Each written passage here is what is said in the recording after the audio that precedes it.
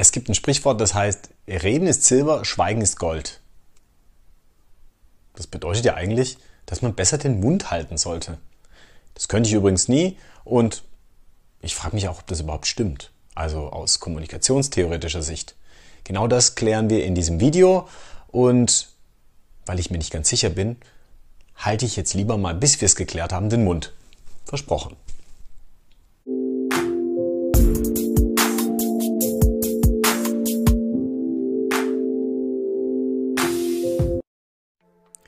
Das Sprichwort zu klären, betrachten wir ein kommunikationstheoretisches Modell von Herbert Paul Grice. Nach einer längeren Auseinandersetzung mit dem Philosophen Immanuel Kant und dessen Werk Kritik der reinen Vernunft findet Grice zu einem eigenen pragmatischen Modell. Das heißt, er untersucht, wie man sich richtig miteinander verständigen soll. Wichtig ist dabei, Grice beschreibt also nicht, wie wir im Alltag miteinander kommunizieren, sondern vielmehr, wie Kommunikation ablaufen sollte. Sein Ansatz ist idealtypisch und pragmatisch, weil er am konkreten Gebrauch orientiert ist. Grice entwickelt Kriterien, die im Gesprächs erfolgsversprechend sind. Er nimmt außerdem an, dass die Sprecher in einem Gespräch beide ein gemeinsames Ziel verfolgen und das nennt er das Kooperationsprinzip. Ich meine, wenn ihr mit jemand redet, wollt ihr auch häufig was klären, zum Beispiel erfahren, wann der Bus fährt und wenn der andere das nicht erfüllt, dann, aha, funktioniert etwas nicht. Das ist das Kooperationsprinzip. Die Konversationsmaximen sehen nochmal ein bisschen anders aus und die erkläre ich euch anhand von ein paar Beispielen. Beispiel 1. Oh oh, das gibt Ärger. Wer war das? Ärger im Klassenraum. Du weißt es, willst den anderen aber nicht verpetzen, sagst es also nicht. Verpetzen ist ja auch nicht so cool. Ist das in Ordnung? Darf man das aus kommunikativer Sicht? Hm. Nee, eigentlich nicht. Da das Weglassen von Informationen gegen die Maxime der Qualität verstößt. Aber was ist das? Die Maxime der Qualität besagt, versuche deinen Beitrag so informativ zu machen, dass er wahr ist. Das heißt, dass man nichts weglassen darf. Sage auch nichts, was du für falsch hältst und sage nichts, wofür dir angemessene Gründe fehlen. Also spekuliere auch nicht, was zum Beispiel der oder die über den gesagt hat. Kommen wir zum Beispiel 2 und der zweiten Maxime. Neulich im Biounterricht. Der Lehrer fragt, ob der Hund die Kriterien eines Säugetiers erfüllt. Ein Schüler meldet sich und erklärt, er habe auch eine Hündin, die heiße Tanja und ja, die habe erst im letzten Sommer Babys zur Welt gebracht und so weiter und so weiter. Das verstößt gegen die Maxime der Relevanz. Die besagt, gestalte deine Beiträge so, dass sie wirklich relevant sind, dass sie also dem Kommunikationszweck dienen.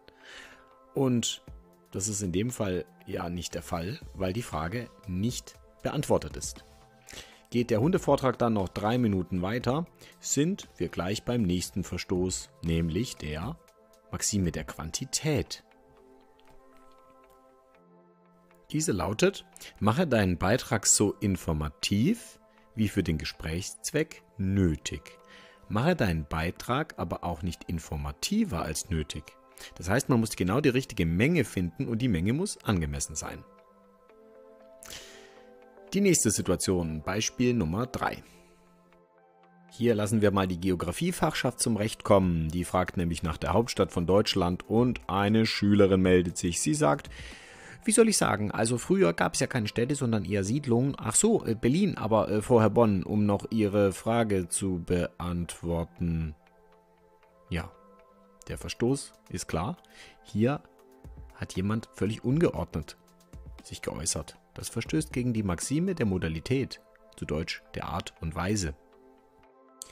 Diese besagt im Einzelnen, dass wir dunkle Ausdrucksweisen, Mehrdeutigkeiten, Weitschweifigkeiten vermeiden sollen und dass wir möglichst der Reihe nach schildern sollen. Das ist eigentlich klar, oder? Ja, untersuch doch mal deine eigenen Gesprächsbeiträge. Wenn du mit deinen Kumpels oder deinen Freundinnen redest, hältst du dich immer an Grice? Ist das überhaupt realistisch? Und interessant, bist du denn überhaupt immer an einer Kooperation mit deinem Gegenüber interessiert? Hm.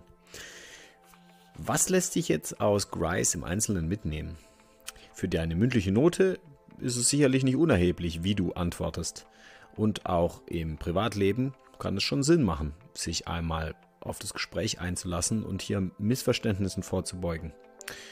Überlegt euch, was der Informationskern ist in einem Gespräch und redet nicht um den heißen Brei herum. Glaube aber andersherum nicht, dass sich komplexe Fragen in einem Satz richtig beantworten lassen. Die Modalität hilft euch besonders bei Deutschaufsätzen, in richtiger Reihenfolge klar und in richtigem Stil schildern.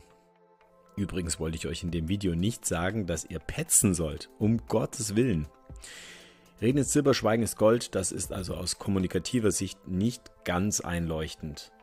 Auch wenn man manchmal schon überlegen sollte, ob der Beitrag wirklich bereichernd ist, dann wäre es in der Tat besser zu schweigen, wie auch der Philosoph Wittgenstein in seinem Traktat festhielt.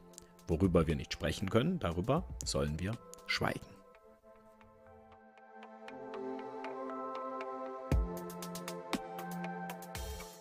Ja, abschließend rede ich wieder und frage, ist Schweigen wirklich Gold?